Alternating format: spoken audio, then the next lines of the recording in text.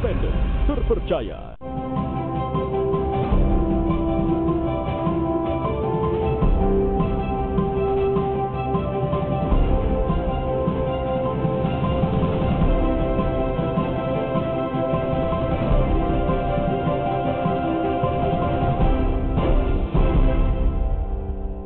Sebuah informasi untuk Anda. Ini terkait dengan perda atau peraturan daerah tentang bangunan. Nah, seperti apakah?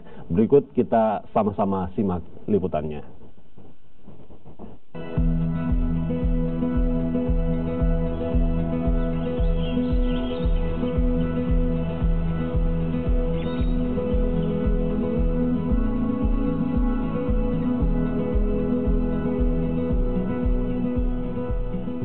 Undang-Undang Nomor 28 Tahun 2002 tentang Bangunan Gedung mengamanatkan bahwa setiap pemerintah kota dan kabupaten memiliki perda tentang bangunan gedung.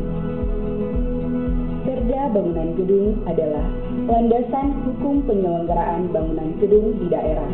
Hal ini juga diatur dalam Undang-Undang Nomor 23 Tahun 2014 tentang pemerintahan daerah, dasar tentang bangunan gedung adalah kewajiban pemerintah kabupaten kota.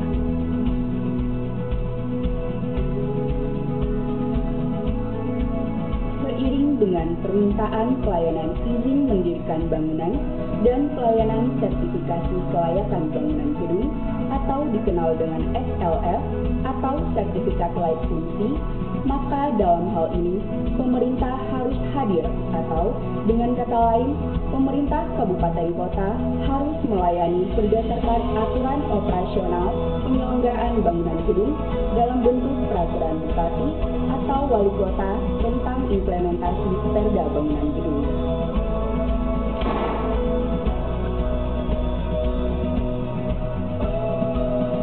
Setiap bangunan gedung wajib memiliki IMB dan SLF dan pelayanannya mengikuti prosedur berdasarkan tingkat kompleksitasnya. Bangunan gedung tidak terbatas pada bangunan kantor, pasar, rumah sakit, dan gedung pelayanan lainnya, tetapi termasuk rumah tinggal yang dibangun secara kolektif maupun individual oleh masyarakat. Bangunan gedung hijau atau green satu perwujudan Undang-Undang Nomor 28 Tahun 2002 dan Peraturan Menteri PUPR Nomor 2 Tahun 2015 tentang bangunan gedung hijau.